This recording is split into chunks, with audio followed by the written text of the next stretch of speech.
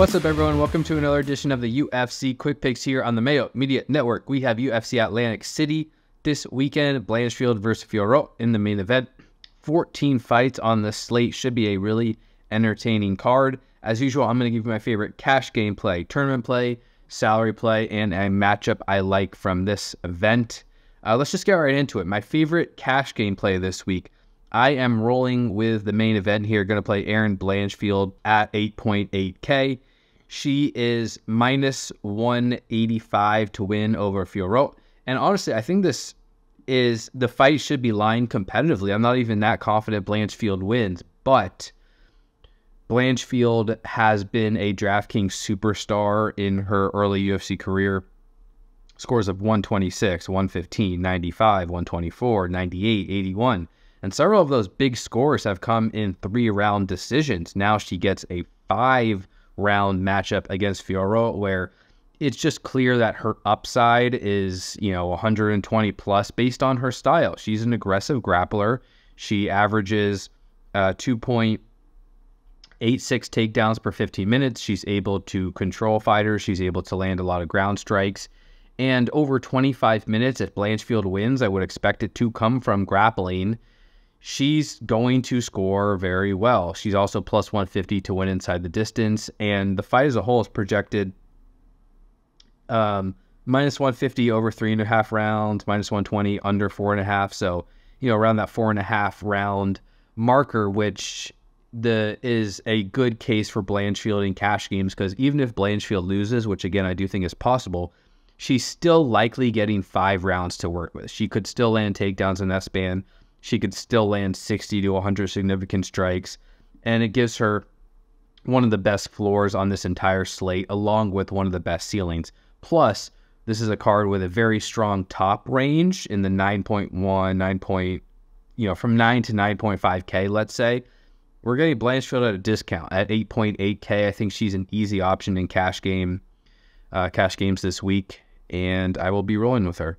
All right, next up in tournaments, let's go with Caolan Loughran at 9.4K very difficult to decipher this top range, and I think you can make the case for anyone here. Julio Arce's got a great inside the distance line. Bruno Silva's got a great inside the distance line. Ruziboev, great inside the distance line. I mean, and I, I'm hoping those three will be prioritized over Loughran, who's only at minus 115 to win inside the distance, but is a pretty heavy favorite here over Angel Pacheco. He's minus 383 to win. And Loughran has the grappling upside that most of those fighters do not. He's an aggressive grappler. A lot of his success on the regional scene comes from takedowns. And he did shoot, uh, I think, more than 10 takedowns in his UFC debut against Taylor Lapilus. Yeah, he shot 11 takedowns, still earned six minutes of control. Just Lapilus was able to defend him. But now he's fighting Pacheco, who in theory is at a big physical disadvantage, is at a big wrestling disadvantage, and probably won't be able to defend those takedowns. So Loughran, I think, either wins this fight by landing takedowns, controlling Pacheco, and finishing him on the mat, or by landing takedowns, Pacheco scrambling back up to his feet, and Loughran having to get more and more takedowns as the fight progresses. Either way, I'm projecting a pretty strong floor and ceiling for Loughran in a win. Still doesn't mean he's going to easily beat out Arce and Silva and Ruziboev, and it's totally fine to spread out your exposure in this range. I do like Loughran for his wrestling upside, especially if he can also win inside the distance. I think he can reach a, a ceiling that some of the others potentially cannot, who are more boomer bust, more dependent on an early knockout. Um, really strong range this week, but I'm going after the grappling upside with Loughran in tournaments. All right, my salary play of the week. Let's get a little bit frisky here. I'm going far down the board to Chris Weidman at 6.9K. He's the underdog against Bruno Silva, probably rightfully so. Bruno Silva is minus 245 to win, Weidman plus 205. And I mean, Weidman's almost 40 years old now. You know, he, he hasn't competed often recently. He's been hurt badly. He's had his leg broken. He's had uh, he's been knocked out plenty of times in his last 10 fights. So it's really, really hard to be confident in Weidman. I, I, I you know, this is not a this is not a safe play by any means. And I think the most likely outcome is that Bruno Silva can hurt him and, and finish the fight. But you know, I I hope that Weidman still has his grappling skills somewhere down there. He's an elite wrestler. He's an elite submission grappler, and that's primarily what's led him to success throughout his UFC career. And Bruno Silva still has defensive question marks there. I mean, you go watch Bruno Silva lo- er, win against Andrew Sanchez in 2021, gave up seven takedowns, put in dominant positions.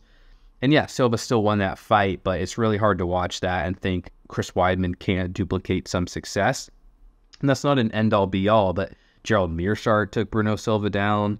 Um, I think it's possible that if Weidman doesn't get knocked out early, Weidman can land takedowns, control Silva on the ground, and potentially even finish the fight. He's 6.9K. I don't think he's going to be very popular. It's a risky target, but we're saving a lot of salary here, and we're getting a grappling based fighter who, if he wins, can probably exceed value and contend with the optimal lineup. So it's a tough range this week. Not a lot of safe options. Not I'm not projecting a ton of underdogs to even win.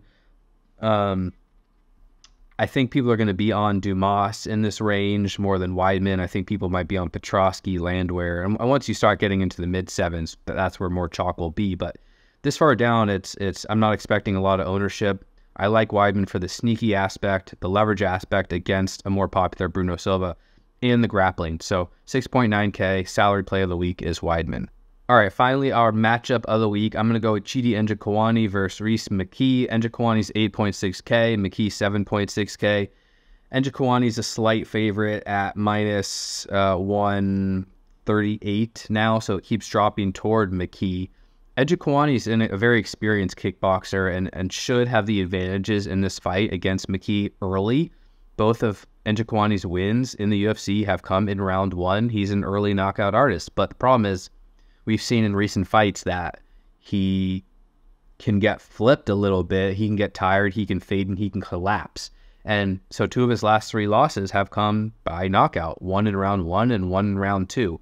And that's concerning against a guy like McKee who gets hit a lot and is probably going to get beaten up early, but typically survives those and comes back and, and has success late. And McKee almost did that same thing to Andre Lusa in his last UFC fight where he was getting beaten up early, was losing the fight, and hurt Lusa badly late in the fight. Where if he just survives the first round and a half from Njokuani, McKee might be able to outpace him and hurt him and win inside the distance himself.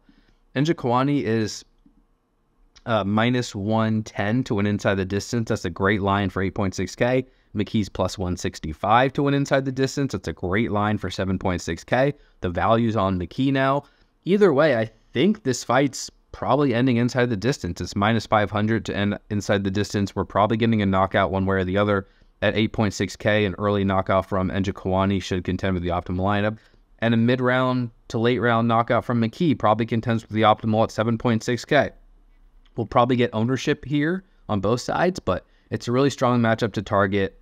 Um, maybe one that gets a little, little bit overlooked, but we'll see. I'm going to be, I, I like Njokuani a little bit more for his early upside potential, but either way, this is a great fight to target, and I don't mind taking the underdog value on McKee there either. All right, that's it for this week's UFC Quick Fix. Thank you so much for the support. You can follow me on Twitter, Brett Appley, double T, double P. EstablishTheRun.com for all the premium content needs. Just finished a two hour podcast with my guy, Gambles Gordo going over every single fight on the DraftKings slate. Full breakdowns, projections available as well. Please check that out at establishtherun.com.